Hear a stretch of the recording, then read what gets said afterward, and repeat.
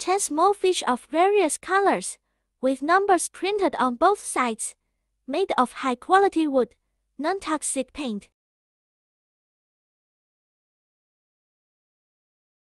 It comes with two kitten fishing rods, just like two cats fishing on a boat. Children can play with friends to see who finds the number first, helping them develop cognitive skills and eye-hand coordination.